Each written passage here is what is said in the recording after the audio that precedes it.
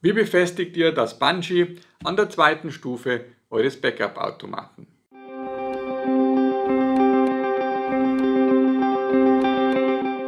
Hallo und herzlich willkommen bei Dive Support. Heute im Video, wie ihr ein Bungee an einer zweiten Stufe des Backup-Automaten richtig montiert, sodass ihr diese Stufe hier bequem am Hals oder unterm Hals tragen könnt, sodass ihr es im Notfall ganz schnell erreichen und den Backup-Automaten in euren Mund stecken könnt. Es gibt verschiedene Modelle, es gibt ähm, teilweise Dinge, die man hier drüber stülpen kann, es gibt Knottechniken, wie auch immer. Wir möchten euch heute eine sehr sichere Variante zeigen, die, wo der Automat nicht von alleine aus der Halterung herausrutschen kann, bei diesen ganzen Knotgeschichten und auch bei den vorgefertigten Necklaces die man hier drüber stecken kann, kann es theoretisch passieren, dass ihr euren Automaten aus dieser Halterung herauszieht, ohne dass ihr es bemerkt und dann im Zweifelsfall der Automat nicht mehr dort sitzt, wo ihr ihn erwartet und das auch noch in einer brenzligen Situation, in einer Notsituation, wenn ihr auf den Backup-Automaten wechseln möchtet. Deshalb empfehlen wir das Bungee oder ein Bungee hier, ein ganz klassisches Gummiband, in 4 mm Stärke direkt mit dem Automaten zu verbinden und somit eine sichere Verbindung herzustellen, damit der Automat nicht ungewollt verloren geht. Dazu bauen wir dieses Bungee in die, in die Halterung des Mundstücks mit ein.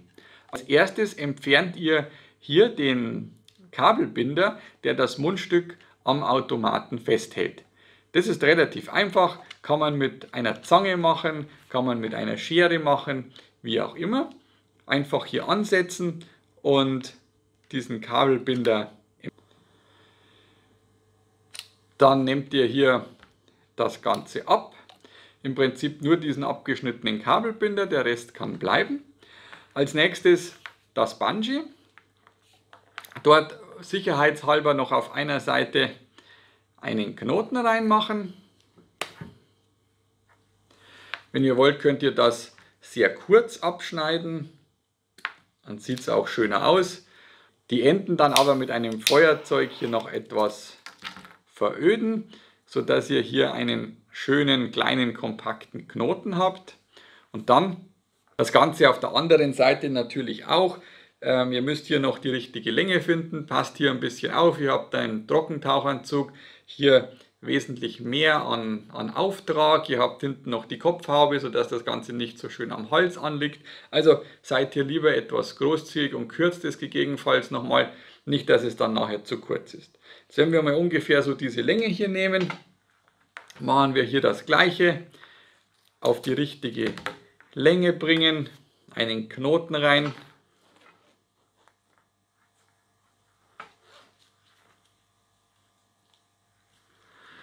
Ganze wieder kürzen. Ist aber wie gesagt eine rein optische Geschichte und wieder mit dem Feuerzeug hier etwas veröden, sodass ihr hier wirklich zwei schöne Knoten habt. Dann nehmt ihr einen Kabelbinder, im Prinzip so wie er drauf war, entweder vom Hersteller oder aus dem Baumarkt. Der soll halt passen, er sollte natürlich hier nicht überstehen oder zu klein sein, er soll hier schön das ausfüllen, so wie es eben das Original auch tut. Und dann zieht ihr den schon mal etwas vor, steckt links und rechts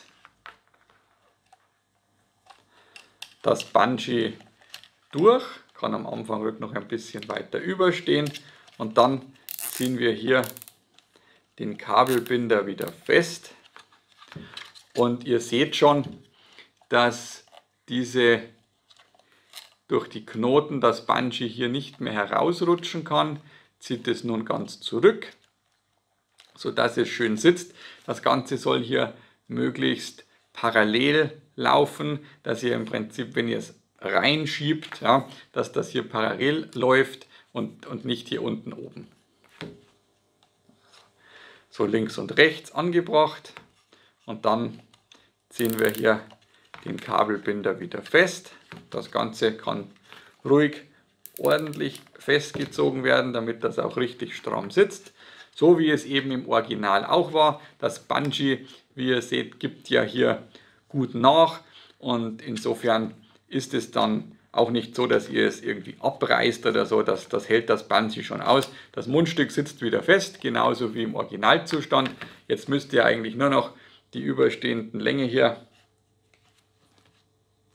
die Schere ist nicht ideal für sowas, vielleicht auch mit einem ähm, Seitenschneider, da tut man sich meistens etwas leichter, aber es geht auch mit der Schere.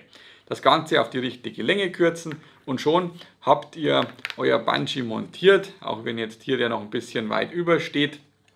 Den kürzt ihr hier möglichst bündig, da habe ich jetzt gerade nicht das richtige Werkzeug vorbereitet. Also wie ihr seht, könnt ihr nun wunderbar den Automaten hier drüber hängen. Jetzt etwas weit unten, aber wie gesagt, der Trocki trägt auf, das das Ganze hinten, die Kopfhaube wird mehr Platz brauchen. Also insofern wird der Automat nachher ungefähr hier hängen und so habt ihr ihn immer sicher, könnt ihn greifen, in den Mund stecken, wenn ihr ihn braucht.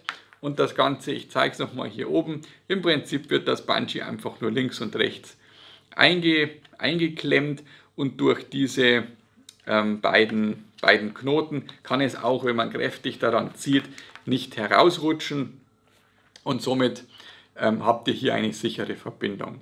Es war eine Weile auch mal üblich, dass man das Ganze ohne Knoten eingebaut hat, führt aber dazu, dass es doch immer mal wieder rausrutscht. Man kann hier die Überlegung haben, dass wenn es doch einmal in einer Notsituation sein muss, dass man den Automaten herausziehen will, weil man eben sich doch irgendwie verhängt oder verhettert hat, dann würden diese Knoten blockieren. Der Meinung kann man auch sein. Dann habt ihr aber natürlich wieder das Risiko, dass das Ganze auch ungewollt herausrutschen kann. Ich tauche es bei meiner Ausrüstung mit den zwei Knoten, damit das hier sicher verstaut ist. Und vor allem, was ihr noch habt, ihr seid hier total schlank. Es ist nicht so wie mit diesen Aufsetzlösungen, wo hier noch relativ große Gummis drüber gehen, die dann meistens etwas zurückrutschen, weil sie, nicht, weil sie hier zu wenig Platz haben. Das Ganze dann wieder vorne an der Lippe anliegt, was nicht immer so angenehm ist, gerade bei längeren Tauchgängen. Also mit dieser Variante seid ihr aus meiner Sicht perfekt ausgerüstet und der Automat, der Backup-Automat ist auch sicher da, wo er hingehört. Das war es dann auch schon zur Montage des, des Bunches, des Necklace zu einem Lungenautomaten zu einem Backup-Automaten. Wenn euch das Video gefallen hat, freuen wir uns natürlich über jeden Daumen hoch und auch über eure Kommentare zu der Montage. Wenn ihr uns abonniert, freuen wir uns natürlich ganz besonders. So können wir euch ständig informieren und sofort informieren, wenn wieder ein neues Video rund ums Tauchen, Tipps und Tricks zum technischen Tauchen online geht. Danke fürs Zuschauen und bis zum nächsten Mal bei Dive Support.